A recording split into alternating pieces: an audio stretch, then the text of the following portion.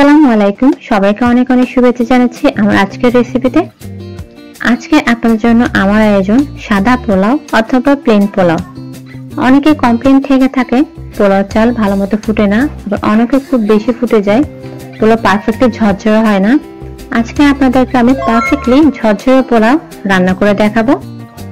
আমি এখানে আগে থেকে আধ ঘণ্টা আগে দুই কাপ চাল ভালো করে ধুয়ে পানি ঝরিয়ে নিয়েছি। আমি এখানে মেজারমেন্ট কাপে চাল মেপে নিয়েছি।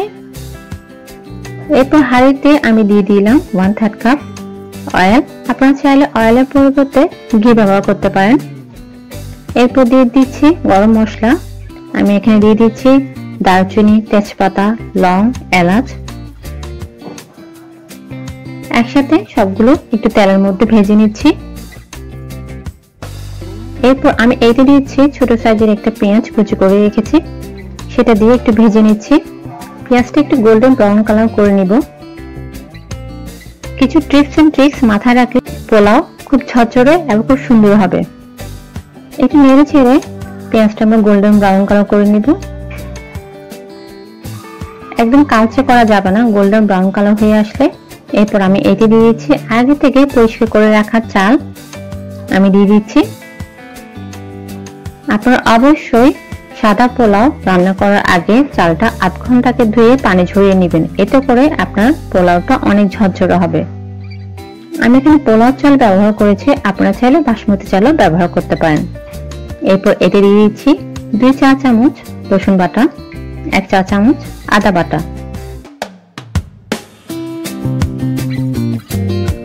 এখন ভালো করে ছ সাত মিনিট আমি একটু ভেজে নিব।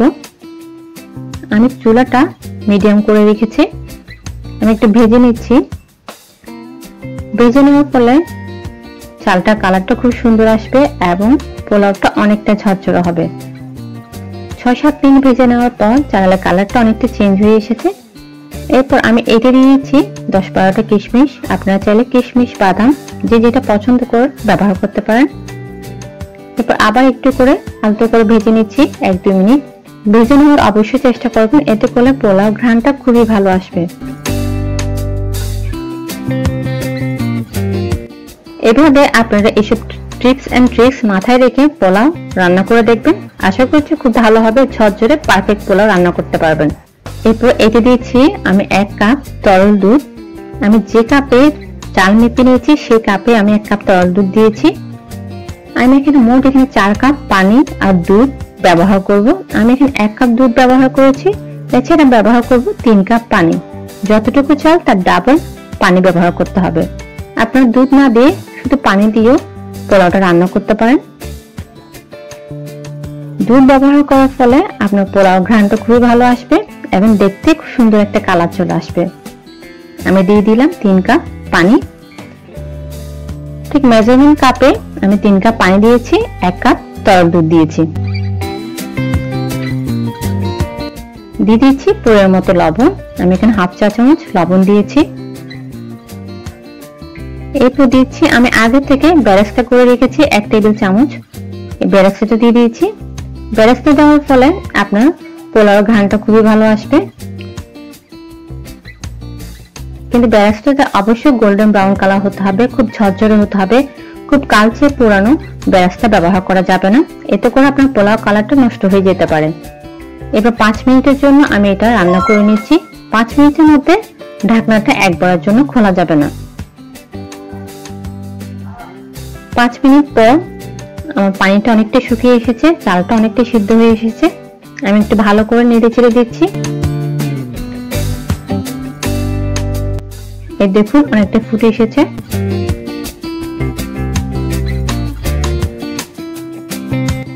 আমি এটা দশ মিনিট রান্না করে নিচ্ছি। মিডিয়াম আছে। দশ মিনিট পর আমার পানি শুকিয়ে এসেছে এবং চালটা সিদ্ধ হয়ে এসেছে। এই দেখুন, আপনারা দেখতে পাচ্ছেন, পানিটা শুকিয়ে চালটা ফুটেছে এবং খুবই ঝরঝরো হয়েছে। এরপর একটু নেড়ে চেড়ে ভালো করে আমি চার পাঁচটা কাঁচামরিচ দিয়েছি এতে। কাঁচামরিচটা এখন দেওয়ার ফলে কাঁচামরিচের ফ্লেভারটা পোলার মধ্যে থাকবে এবং খুব ভালো একটা ঘ্রাণ চলে আসবে। এরপর পাঁচ মিনিটের জন্য আমি একটু দমে রেখে দিচ্ছি। একদম ছোট করে লো আছে এবং ছিদ্র থেকে থাকলে এটা অবশ্যই বন্ধ করে দিবেন।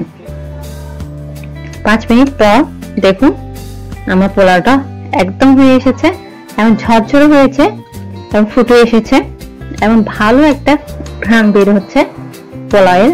এখন আমি এটা পরিবেশন করে নিচ্ছি একটা প্লেটে। সাথে আপনাদের জন্য আমি পরিবেশন করে নিচ্ছি সালাদ এবং খাসির কোরমা। এবং সাথে আচার।